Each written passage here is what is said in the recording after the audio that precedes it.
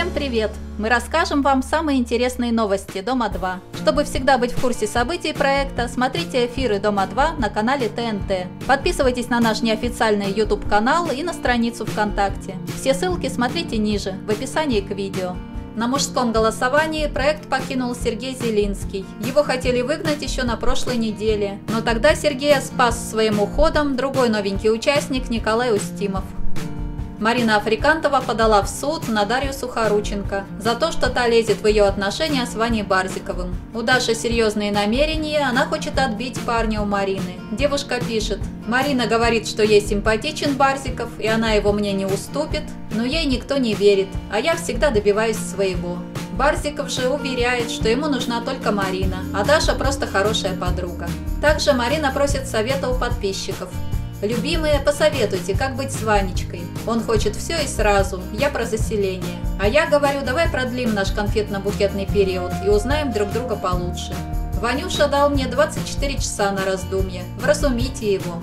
На поляне состоялся суд над Димой Дмитренко.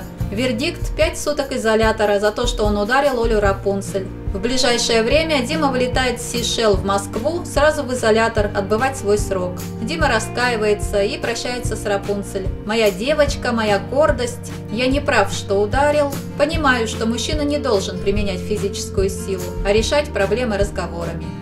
Как вы помните, Глеб Жемчугов тоже находится в карцере. Он не унывает, устраивает дебош и пишет заявления на людей, которые его оклеветали, требует справедливости. Многие зрители возмущаются, что приговоры проектного суда часто оказываются несправедливыми. Продюсер Алексей Михайловский рассказал об изменениях. Голосование станет зрительским через ТНТ Club.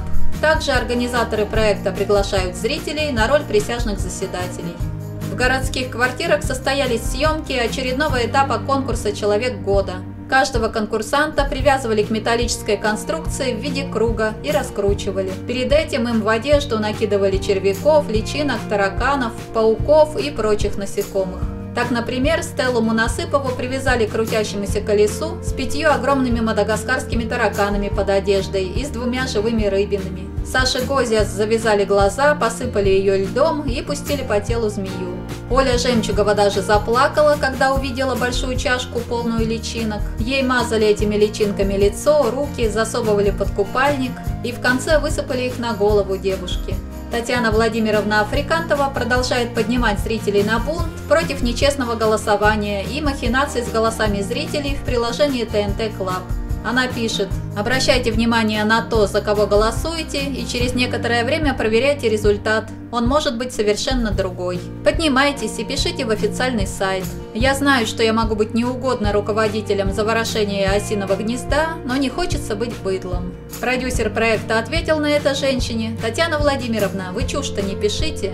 Ольга Жемчугова тоже прокомментировала нападки Африкантовой-старшей. По поводу некоторых личностей, которые говорят, что голоса накручивают в мою пользу специально, идите лесом. В любом случае, выбор за телезрителями.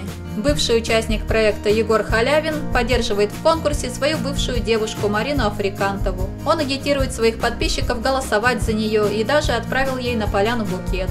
Правда, букет ему достался бесплатно за рекламу. Саша Харитонова отказалась дальше участвовать в конкурсе «Человек года».